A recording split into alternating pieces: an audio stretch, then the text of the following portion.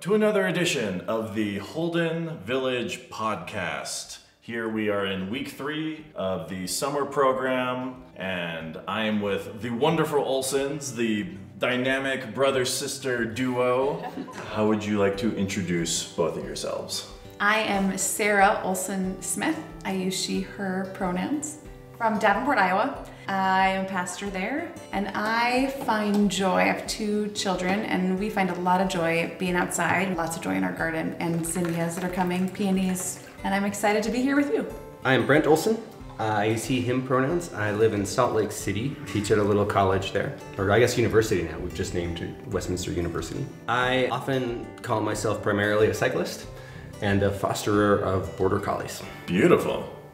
So, what is the topic that both of you are teaching the villagers this week? Our goal, our aim is to engage with people in a conversation really about how to live in a broken world. So we've sort of titled our sessions as a setup for a joke that we don't yet know the punchline for. Right. Um, so the joke is that an anarchist and a pastor walk into the forest. And what happens there? The punchline of that joke is we are working with people here this week to figure out. And as we do that, we're putting side by side biblical stories and stories that grow out of anarchic movements to see how those conversations dialogue with each other and then how we enter them and how they shape our thinking and our imagining in new kinds of ways. So our hope really is to ask some good questions and to imagine differently and to let that imagination shape how we practice and live our lives, especially in the light of this broken world and climate crisis and all the other ways we experience devastation, but also great hope in the midst of all that. Absolutely. The um, previous faculty that was here last week, her name was Laura. Her term for all of her sessions began with, you know, we're in this spiral of doom. And like, what do we do like from there? And so, you know, we played around with that a lot. And a question I actually I asked her, um, it kind of turned into this funny segment was how much of us being on the precipice would actually allow us to transcend? And so how much of this is purposeful or not? What are your thoughts on that?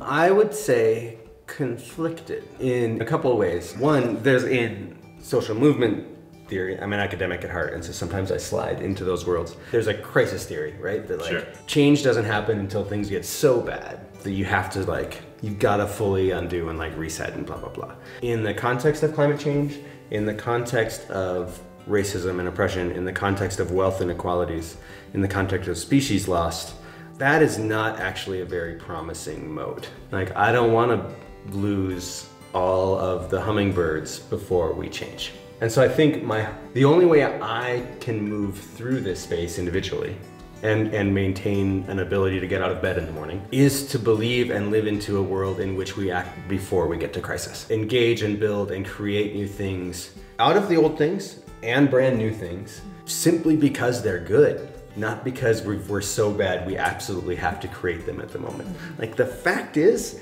for example, urban parks downtown that don't have cars in them are amazing. They're really awesome. We don't need to have a downtown parking crisis in order to have an urban park. Like we can just go ahead and build those things. It's okay. Mm-hmm. Right? Why wait to the crisis? There are good things that we can do today. What if we did those things? And so part of my hope this week is to like actually recognize and name some of the ways that's already happening in the world. That people are creating really new things even before we get to crisis while also recognizing that we're also already in crisis. We don't need to wait till we lose all the hummingbirds. We're losing hummingbirds. Like that should be enough. We don't need to hit the bottom before we can start to make change. Mm-hmm. I think, especially within Christian traditions or other kind of places of privilege, we pretend that crisis isn't real. Like we have the privilege to deny the reality of the precipice we're in, and in particular, different kinds of privilege in different sorts of ways, keep on living in as though it's not real. And I think part of what we hope to do as well is to linger in those places of challenge, of conflict, of possibility, of hurt, of despair, of suffering in order to respond in ways of hope and to open up our eyes in some ways and then open our eyes to some possibilities as well. Yeah, I, I grapple with that question a lot, just from observing the periods of my own life where crises has led to periods of learning, but also try not to be a masochist. And for me, that's why you know laughter and, and humor is a beautiful way to create harmony. I often spend a lot of time teaching, and my partner partner's research is sort of built right now on thinking about play and fun as mm. fundamentally revolutionary. And so her research at the moment is working with a cycling organization in Palestine and thinking about fun and moving through that space as an act of cultural identity and resistance to mm. oppression. And so like that act of fun is itself an, a revolutionary act. So this kind of goes into this summer theme that we have. Yeah. Eden is calling. Yeah. I'm curious, what does that mean to to both of you? It's been a fun theme to think about. We spent yesterday, our first day of in our study together, looking at the Genesis 2 story, inviting to think about the ways that we are invited into deep community and deep kinship, not only with other human beings, but with non-human beings. Mm. And so I that Eden story is this place, this vision of a place of, of deep interconnectivity of humans made from the earth, all of us made from the same place, and then because of this shared rootedness, groundedness, how then do we live and work and play and take responsibility for each other? So we've been having some fun conversation about and, and what does that mean in terms of our responsibility for and with each other, and uh, that's been a real joy in some of our conversations. But it also invites us to imagine new futures for how we can be and uh, think about how Eden is present in those urban parks, or you know, a, a, not as an escapist, but as a deep commitment to the places we are or find ourselves. Yeah, and for me, the sort of Eden calling theme, I mean, all of the plays on words, right? All the potential puns and meanings of it, but like a both a wake up and a networked connection. Mm. And in my thinking, we've done a really expansive job of thinking about how human relationships work and function and think, as Western cultures less great jobs of thinking about how those emotional relationships are mutual in the nat- non-human world. And when we do, we also tend to make that non-human world sort of exclusively non-human. So for me, thinking about Eden calling is very much a both and. Mm. Right? It's not just like we're just going to focus on the natural world now, or we're just going to focus on human injustices now. But really, all of these things layer in ways that are, once you see them, undeniable and also critically important. Is the border collie world part of your entrance into the non-human realm? I read somewhere that wolves domesticated us, dogs mm. domesticated us as much as we've domesticated dogs. Hmm. Like we've become attuned to read their responses so that they can get exactly what they want out of us as much as we we get out of them. Mm-hmm. Working with dogs in trauma, working dogs in crisis is a sort of really wild mode of interspecies communication that is obvious and clear and much more direct than say the interspecies communication one might have with a grub right? Like i don't know how to read a grub emotionally. I know how to read a dog emotionally. Working with dogs becomes an avenue to think outside of myself in a cool way. That's great. That made me think of like this rendition of Plato's Cave where Yeah. the wolf is doing the puppet mastering.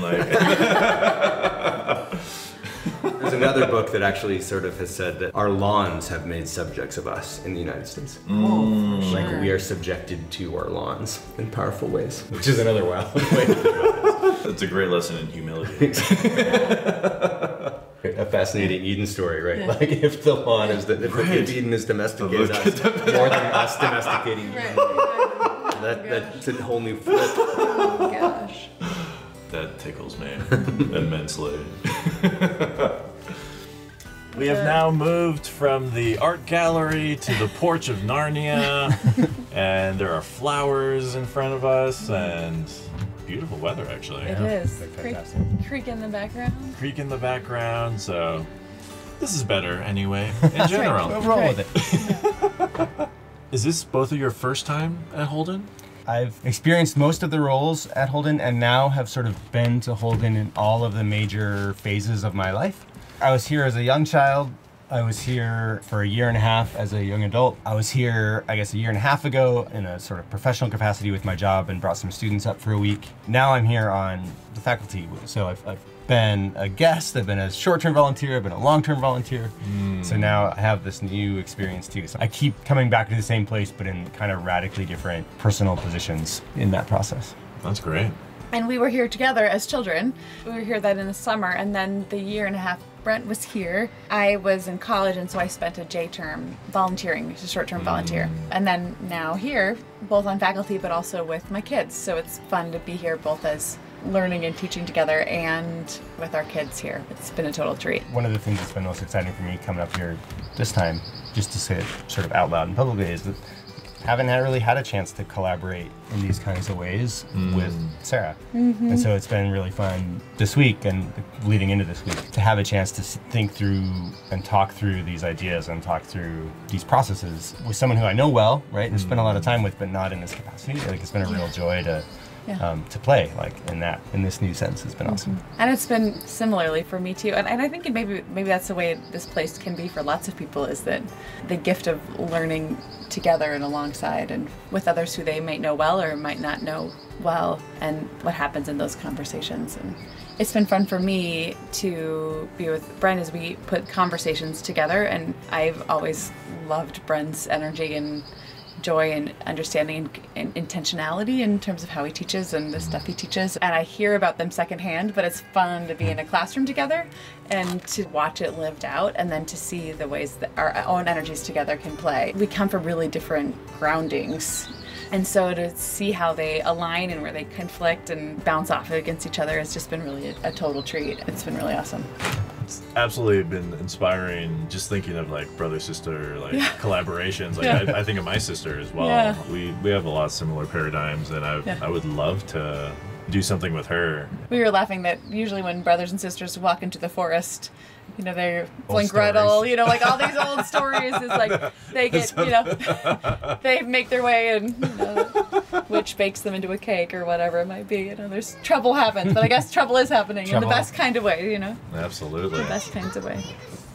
As a closing, what are your hopes for for the world or the work that you do? In the biggest kind of ways, my hope for the, the world is like deep thriving and flourishing and in authentic and beautiful ways, hmm. both human and non human. And I guess in my own smaller ways, my hope is I think about my hope for the church, and I can speak in my own context as a Lutheran Christian, that there's a, a kind of deeper commitment to our connectedness with the non human world, with each other, a deeper sense of responsibility, commitment to practices that are new and creative and playful and outside of the old. And as the more I have conversations with Brent, too, ways of new thinking and partnerships and letting go of some of the kind of old ways that are inhibiting us from really being the church that we can be and ought to be in the world and with the world.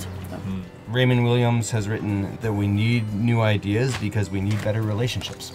And so, if what I can do is help people ask questions and develop ideas in order to foster new and better relationships with each other and with the world around them, then that's really all I can do.